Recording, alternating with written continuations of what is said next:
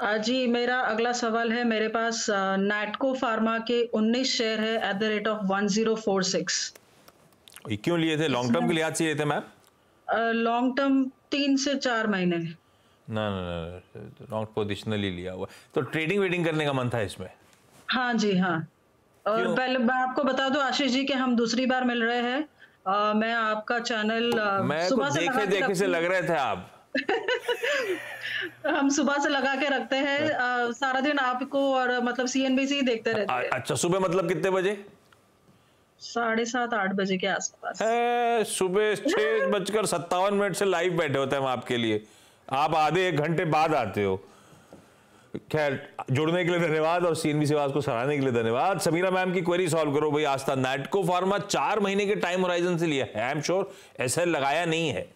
पचास साठ रुपए नीचे चल रहा है खरीद से। Uh, बिल्कुल अभी थोड़ा सा आशीष ये जो चार्ट दिखा रहे हैं वो थोड़ी वीकनेस और दिखा रहे हैं। इनफैक्ट हो सकता है कि मैम नीचे में एक बार 945 तक भी ये काउंटर आए। तो अभी वीक लग रहा है हाल फ़िलहाल के लिए। अगर मैम लॉन्ग टर्म का पर्सपेक्टिव है और थोड़ा रिस्क ले सकते हैं तो होल्ड करिए। क्योंकि हाल फ़िलहाल में तो थोड़ा वीक लग रहा है। मेरे हिसाब से आपको तीन महीने के ऊपर की समय सीमा को ध्यान में रखते हुए इसमें निवेशित रहना पड़ेगा। तो इतना अगर आप वेट कर सकते हो तो होल्ड कर लो। स्टॉप लॉस इसमें जो मुझे लगता है कि आप रख सकते हैं, वो तकरीबन यहाँ पे अभी तो 920 का आ रहा है। सो 920 के स्टॉप लॉस के साथ तीन महीने से ऊपर की समय सीमा के लिए अगर होल्ड करें तो फिर बने रहिए इस काउंटर में। और ऊपर में तेज़ी एक बार जो लौटेगी, वो एक हज़ार साठ के ऊपर लौटेगी, जो उसको ग्यारह सौ तक भी ले जा सकती है। ना तो इनका मन है ही। तीन चार महीने के लिए रुकने का मन था, बिल्कुल ठीक है। उस टाइम के रुका जा सकता है। ऐसा ध्यान रखिएगा। वनीता मैम अगला सवाल। यस सर सर मेरे पास एल आई सी शेयर है फाइव हंड्रेड सिक्स थर्टी पे खरीदे थे। और मैंने सुना कि ये मल्टी बैगर है आपके चैनल पे तो सर निकलने का मन नहीं हो रहा। तो प्लीज़ सजेस्ट कि कब तक और होल्ड करूँ? पचास परसेंट रिटर्न मिले पर सुना है कि मल्टी बैगर है आस्था। है क्या? और होल्ड करूँ क्या? हाँ होल्ड तो किया जा सकता है, लेकिन आशीष, जिस तरह से मार्केट थोड़े से वीक हुए हैं, अभी सारे ही स्टॉक्स में हमें प्रॉफिट बुकिंग देखने को मिल रही है।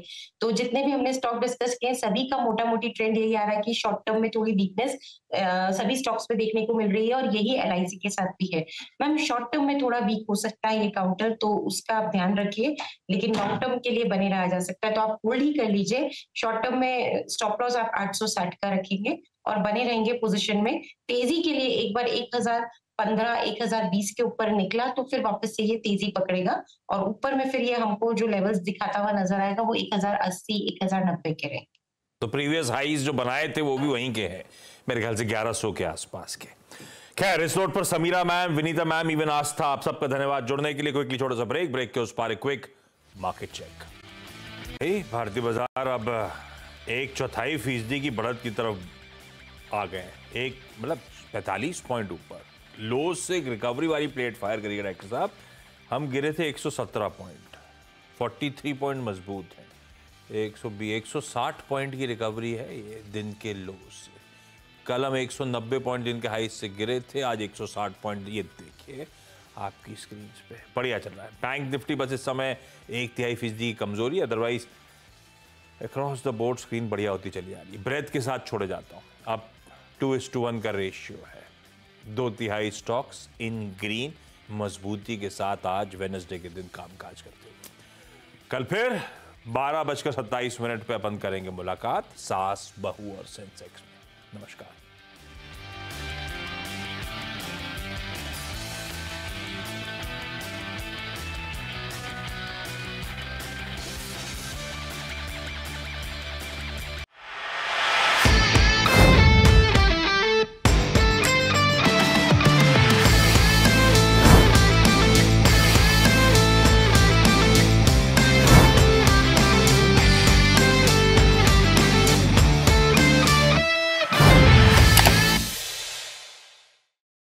बता दें कि मनी कंट्रोल पर दिए गए विचार एक्सपर्ट्स के अपने निजी विचार होते हैं।